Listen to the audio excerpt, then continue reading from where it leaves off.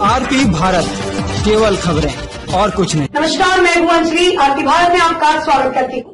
तो चलिए शुरुआत करते हैं आज की किसी प्रमुख खबर से। डेहरी में अवैध बालू का कारोबार बंद होने की जगह बढ़ता जा रहा है।